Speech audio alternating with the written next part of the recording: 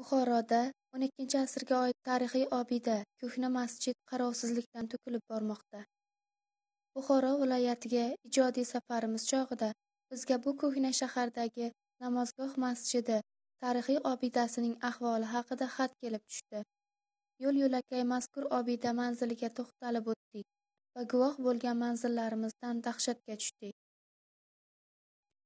Mamlakatimizda turizmga berilayotgan katta e'tibor fonida ko'hna shahrimizdagi asriy osori atiqalarning birining bu ahvolda qarovsiz yotganini qanday izohlash mumkin?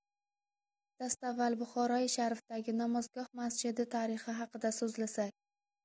Namozgoh masjidi Buxoroning janubiy-g'arbida 1919-yil qurilgan. Namozgoh so'zi namoz o'qiladigan joy ma'nosini bildirib, axloq qoidalari chegarasidagi tabarruk amaldir. Namozgoh toza joyda ibodatni ta'mirlash maqsadida xona ko'rinishida bo'lgani kabi musulmonlarning joynamozi bo'lishi ham mumkin.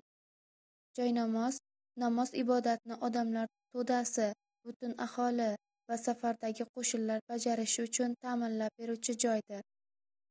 Tarixiy manbalarga ko'ra, namozgohning butun maydoni baland qishli devor bilan o'ralgan. O'rtasida mehrob va yonida imom vaz qiladigan minbar bo'lgan.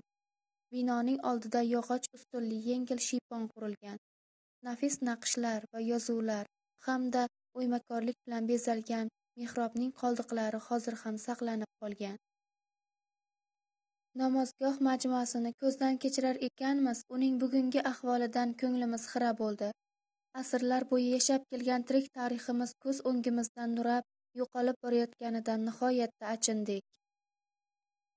Xullas, bu manzarani nima deb baholashni ham bilmadik. Xulosamiz esa aniq.